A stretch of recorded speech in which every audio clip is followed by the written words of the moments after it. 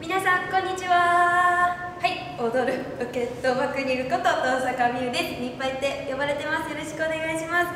なんとなんと皆さんのおかげで目標であったファイナル2002えミスラッシュ2020のファイナルに出場することができました。